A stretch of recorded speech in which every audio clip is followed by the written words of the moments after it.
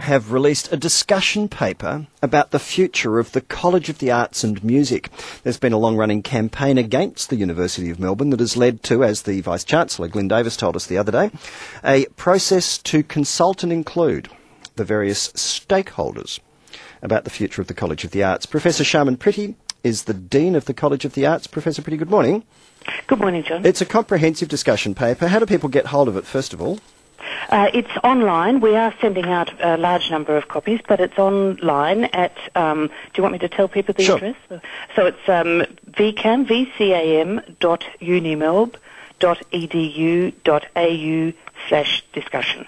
Um, if you go to the University of Melbourne website and navigate your way around, you'd put in, um, you know, Uh, it's got a series of questions open for discussion. There's more than 20 of them, but number 22 to me seems the key one, which is just questioning whether or not it should in the future continue. The College of the Arts should continue to be part of the University of Melbourne. Are you serious about demergering?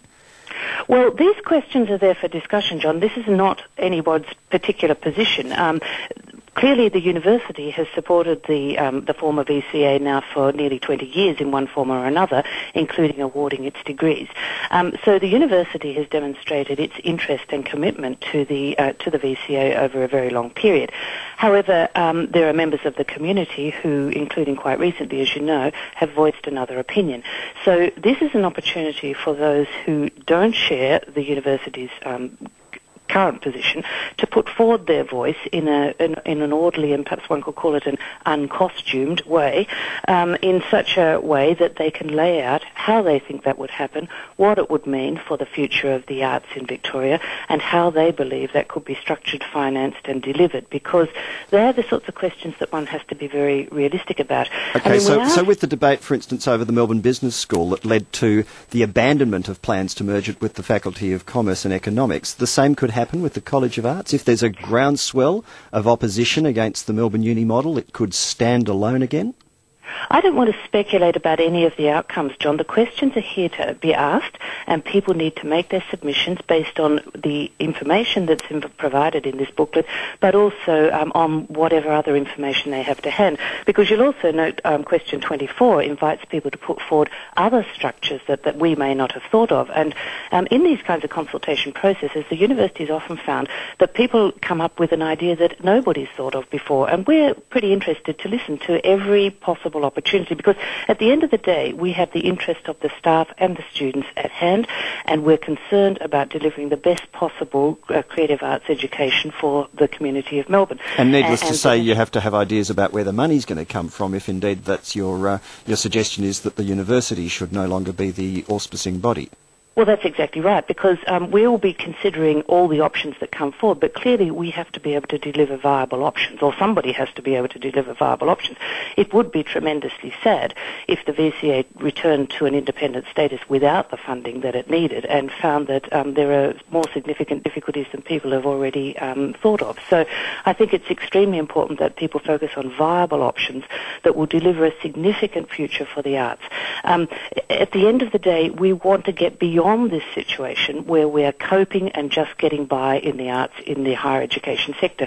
This is quite a widespread problem. We all want to move way beyond that. We want to have a sustainable, very significant future. All right. Now, do you give an undertaking that there won't be any further changes to the status quo whilst the period of consultation is on? Because already for next year, some of the uh, uh, changes to curriculum and class sizes and what's on offer are being introduced, even while you're promising to have an open and full uh, consultation process. Well, our plans for 2010 are pretty well set now, Jon. Um, but we do have to keep business as usual going. I mean, we have hundreds, 2,000 students that we're dealing with at the moment, supporting and, and moving through their education, and our staff and so on. We can't um, snap freeze things in time. Um, but also, you know, in any strategic planning process or any uh, policy development process, one has to continue business as usual until such a time as there's a signal to change direction. Well, that's This taking its toll. normal. You've got staff turnover, you've got students who may not want to go while the place is in a state of flux and uncertainty. We have very good applications for next year. We've completed a lot of the auditions. Um, the cohort is looking fabulous. Um, we don't have any concerns about delivering right. excellent programs next year for the All right. students who are coming to us. And just finally, uh, the university discussion paper says uh, there'll be an independent chair of this Yes. process. Uh, if the university chooses the chair, how independent will the chair be? Well, the chair will be a person from outside the university um, with a broad uh, understanding of, of, these issues and with a, a, track record of being able to take a very even position over these kinds of um, these kinds of discussions. And uh, so, pardon? Who is it? Oh, uh, that is not yet finalised. There are some discussions underway with um, one or two options, but um, when we've got that in place, we'll announce that. All right. Well, our time today is brief, but clearly there was a lot of emotion, and this has been uh, brought about. I'd say, uh, do you concede that this consultation is the result of the campaign that's been run? There was always going to be consultation, Jon. We've said that from the beginning. This is entirely consistent with the processes that the university right. has run around other things like the introduction of the Melbourne model and the other degrees within that. We've always said that.